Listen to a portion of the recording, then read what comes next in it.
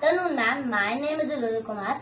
I study in 4th C class. Today I will going to tell Tenali Rama story. Once King Krishna Dev Raya ordered every household should have a cat because Vijayanagar in that time in that time infested with rats. He also ordered a cow to be given to each house to feed the cats milk. Uh, Tenali Rama thought the whole idea was stupid. He came with plan to give king a lesson. The very first day he gave his cat boiling hot milk.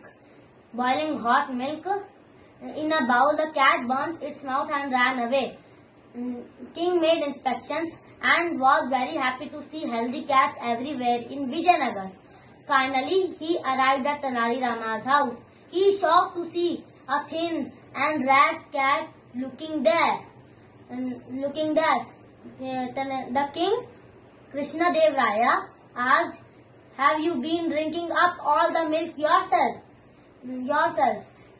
Mm, He replied, I don't know what is your majesty. My cat refuses to touch milk.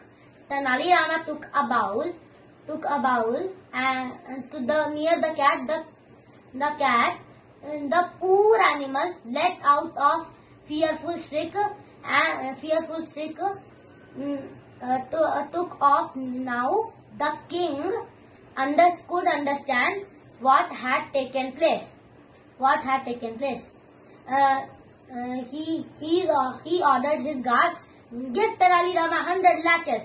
Tenali Rama, not betting, his eyelids said, "Punish me, sir. Punish me, sir. But think for a while. When the people themselves don't have enough milk."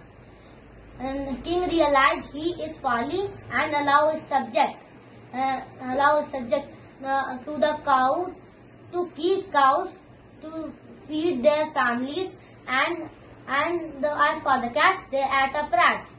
Moral of the story is uh, man is important than other animal. Thank you.